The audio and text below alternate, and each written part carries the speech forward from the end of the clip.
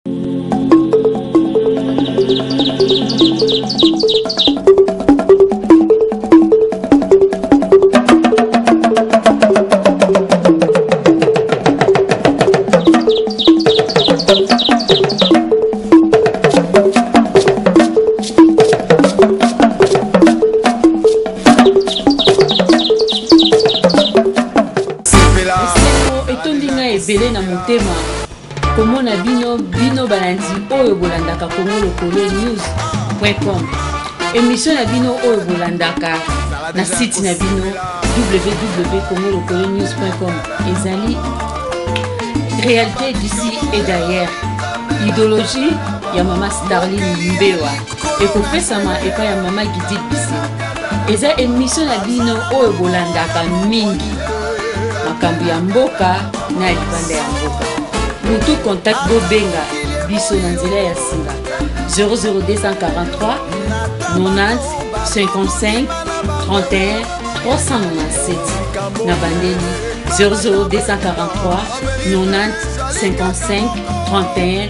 397 soki bobengi okozwa ye moko numero 1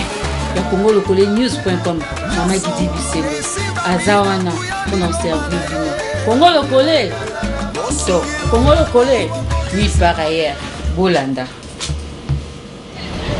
esengo etondi ngai ebele ya komona bino lisusu bino bato bolandaka biso na ww Congolokolenews.com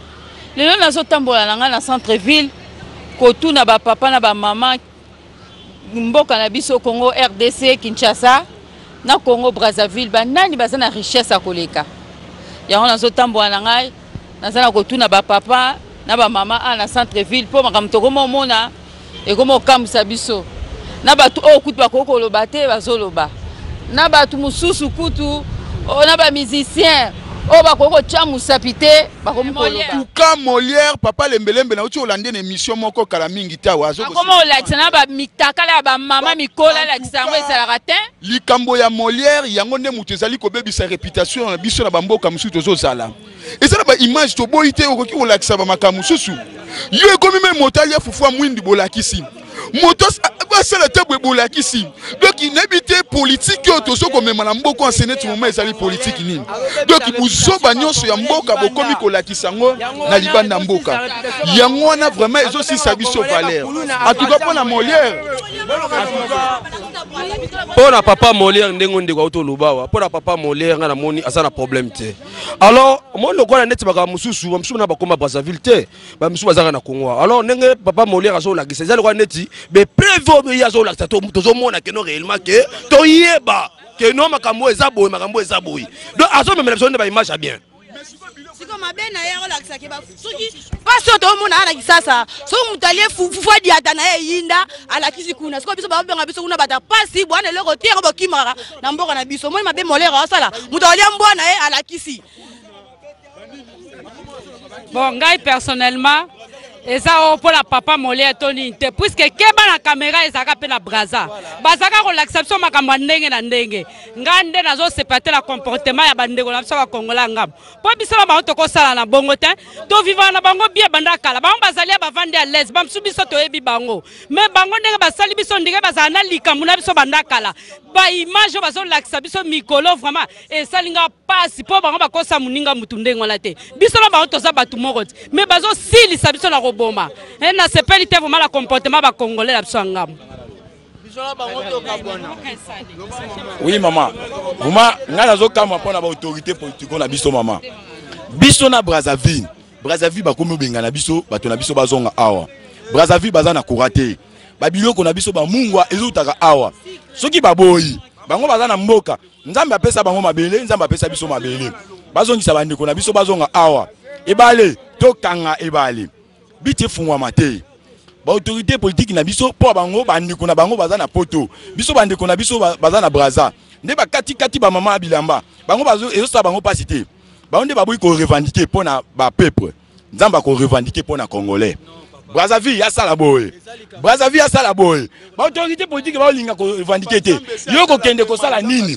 Yango na zo ebisa ko bango bazolinga ko revendiquer te hein bavanda kimia mpo na bango bandeko na bango batante na bango bazokata bango bilamba te eza batante na biso nde bakata na ngai alobela omo boye biso baoyo bakie mpo na korevandike tokorevandike eza problème te mais tozela na bandeko na biso oyo baza kuna so basili bazongi bongo nde tokorevandike tokoki korevandike sikoyo bandeko na biso oyo baza kuna baboma bango zela oyo baza kuna baya so babimi bongo toko revendiquer merci papa eh, eloko eh, esala nga mpasi mpo na gouvernement na biso toyebi ete na droit international abi tout état doit prendre fait et cause de sa population koprotege population yango jusque là badémarche ezala ministre affaire étrangère akendeki ezala badepute bake namoni solution epesami te solution ya suka eza nini tokangi ambassade na biso kuna to renvoyer ambassadeur na bango to renvoyer population na bango mpo eloko moko atina eza te gouvernement azosala eloko te jusque eloko baosala eza basemblant gouvernement ifo abima claire baloba clairement soki eza makambo ya kuluna ya kopanza bawenze mbe eza eh, eh, ala une information mais oyo ya koboma bato nde bazokufa kuna wana baza banon congolais oyo baza plus important eza so bakangi bakangi congolais moko aoteka mwa mapa na ye mpo na kodebrouille wana problème boluka bozongisa bandeko na biso awa brazzaville tokata bango courant eh, so tokati topimele courant kongo ekovivre te viva na mbongo ya courant brazzaville bakataka courant ye sasu ndenge aza mokonzi epuis totangana na babrazzaville bon eloo na osenga sasu azongisa na mwasi na biso abengani bacongolais azongisa mama na biso aza kuna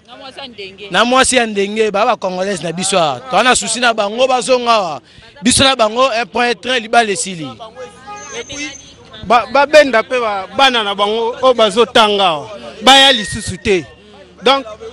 totanga biso moko awa na congo tomona brazzaville awa na congo te te ke atanga na bauniversité na biso so tomoni bango tokosala bango mpe ndenge basali bandeko na biso kuna ah. Eh, na nyonso wana na nyonso wana tosenga maturité ya bautorité parce que oyo oh, tomoni bandeko na biso eh, bandeko na biso bakufi donc tosenga maturité bakonzi bayeba mpe koagir avec sagesse Parce qu'on a connu un peu beaucoup de cas de mort et ça devait pas être ainsi. Merci. bango oloba kaka mpo na événement eleki na brazzaville en tout cas tosepeli te bandeko na biso bakufi baviole en tout cas tosepeli te babomi bamabala bamisusu baso ba babala kuna babota baza na bafamille na bango babomi babala na bango bazongisi bango a ah. alors esali mpasi yango tolobi kaka ke non lokola balingi bacongolais te bazala kuna epa na bango bazongisela biso mpe mama antoinette azonga mwana mama poto aza congolaise awa aza na nini Bavandi wapi na nini na pigeon na avenue Poto Gallo epa ah. famille na ye eza wana aza congolais azonga ti kone ndenge azozela biso ngai nazoloba boye soki saso azwa na bokonzi eza bacongolais ndenge bango bazoloba bazairois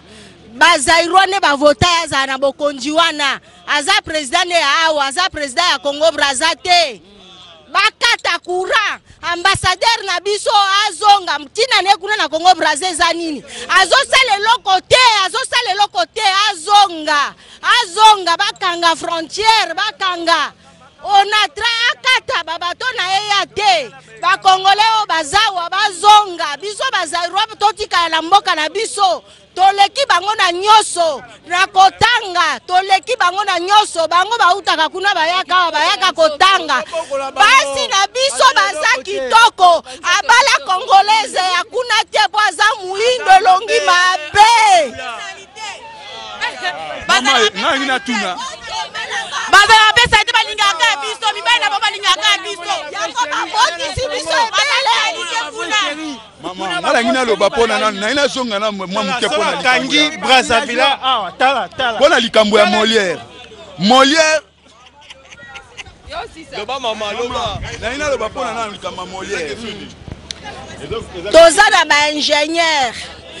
bango bazofinga biso ke biso totanga te banda président na biso ti na se toza baprimerien mais tomonaki na bato oyo biso torefoule tomonaki delegation ezalaki kaka compose na baétudiant ya campus ya ibtp ya ista ya ina ya iese baétudiant na bango bayaya kosala nini biso tozo répondre bango na silence mpo biso bakongole na biso toza ebele kuna bazongisa biso toboyi violence toboyi naza activiste ya droits humains toboyi violence oyo bazosala bemba aza na aye mpo na nini violence yango bemba asala biso tomona yango biso bakongole tomona yango me oyo bango bazosala kuna na kongo ya ngambo eza violence te batika baetudia batambola bamanifeste merci mama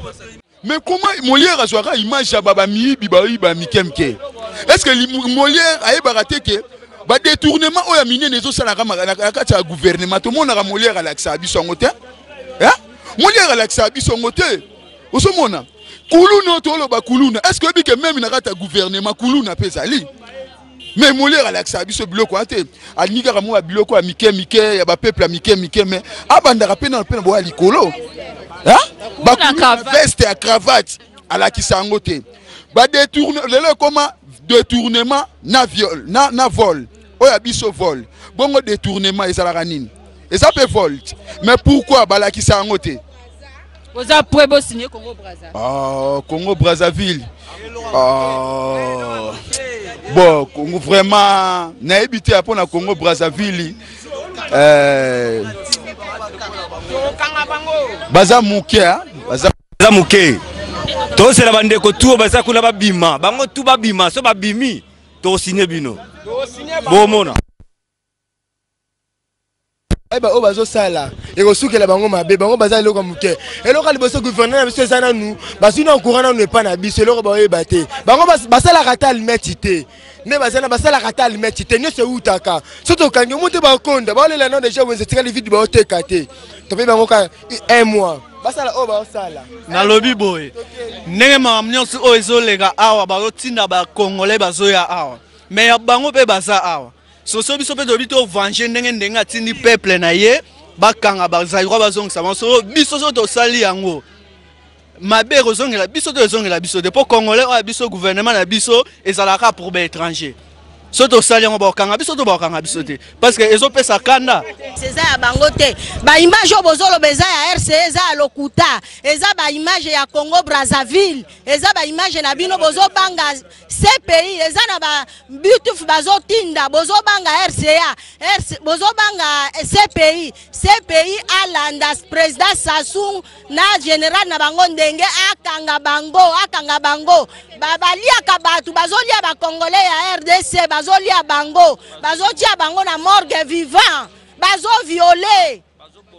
bazoboma bazobeta na, na la polisi na population polisi eza wana mpo na kogarde population na babien na ye ndenge nini polisi ekomi ya koviole pays mosusu eza guerre oyo bazoluka eza ya barwandais bango basi tokalifie bango barwandais baza barwandais baza bagénocidaire baza bagénocidaire na bareunion na bango ezala ya sadek ezala ya nini kongo akokenda lisusu te pre premier dame na bango aza ekarte aza ekarte tolongoli ye zairoise azongi kongo ya ngambu bakatisaka lisusu te ah, tuta biso courant na biso en tant que femme congolaise intellectuelle animatrice culturelle technicienne en développement rural ambassadeur na biso azonga bondimaka nga ko ambassadeur na ba tozonga epa papa na biso président ya namar totuna ye solution nini ya suka aza nango mpo na message ya brazzaville ok en tout cas nasengi na bandeko nyonso bacongolais ndenge tozawa tobanga te mboka eza ya biso toza na moto akolobela biso te toza na moto akolobela biso te mese kabila depuis azwa bokonzi avanda aswi alobaka te donc elingi kolakisaka aza kosinteresse na peuple congolais te alors ezosenga na biso moko peuple tomizwa en charge ezosenga na biso moko peuple totelema tomidefendre totelema tostope bango na bacalcule na bango tozosenga na bacongolais nyonso tomizwa en charge totelema to mettre fin na makambo oyo lokola leta azoloba eloko te baza koviole basi rwanda aviolaka angola aviolaka braza aviole alors solution nazosenga na bino boluka tokutana biso nyonso ensemble to agir isazi ya kopanza kopanza nayebisi bino deja ke calcul oyo bango bazosala calcul oyo leta oyo azosala alingi bato nyonso bazoya wana parce que angola mpe azozongisa Ba zambi pe bazo zongisa tango bako zongisa bato bako tonda après bako tia trouble bako loba nini ba election ezala te mais po na biso ezali tolingi lokola Kabila alobaka te ata avant 2016 esengeli asa nini akende parce que aza digne ya ko diriger biso te un père qui ne parle pas en tout cas totelema solution na biso ezali tosangana ensemble ya kopesa bino ba numero bobenga bobengaka tozwana toyeba tokutana nini tokosala mpo na mboka na biso biso moko tokodefendre mabele na biso nyonso bazoluka mpo na kokabola ok tokomi na suka ya reportage na biso boyeki yana mar ndenge alobi boyeki mpe bandeko ndenge balobi baoyo bauti brazzaville baza awa boyoki nde balobi ndenge bandeko nyonso batondi awa bauti brazzaville boyoki bango nde balobi vraimen eza mpasi tozosenga mokonzi ya mboka soki moye ezali apesa biso nzela biso moko tobima libanda toyeba ndenge nini tokoki kosala mpo na babrazzavillois mpona apesi mbote ebele epa mama gidil bisengo ye moto azwi baimage oyo napesi merci epa patrik nsala ye nde moto amonte yango napesi bambote ebele na flori balekomboso mpo na nini te christian dis number one mpo na nini te mbotra to picho pacho asota likonko esika ozali na norvège napesi bino mbote napesi mbote cliff, cliff ndombe congo solution napesi bino mbota trop kongo ya sika napesi bino mbote bino boza bapartenaire na biso eh, fabrice malita Ricky Nemiala napesi yo mbote Paul ambassadeur osika oza na Londres napesi yo mbote David Olito mbote petite sœur propre Laetitia Bisengo napesi yo mbote mais bozo bobosana te toza na rendez-vous rendez-vous oyo oh, bomonaka ke anniversaire ya mama na biso Gidi Bisengo le 15 mai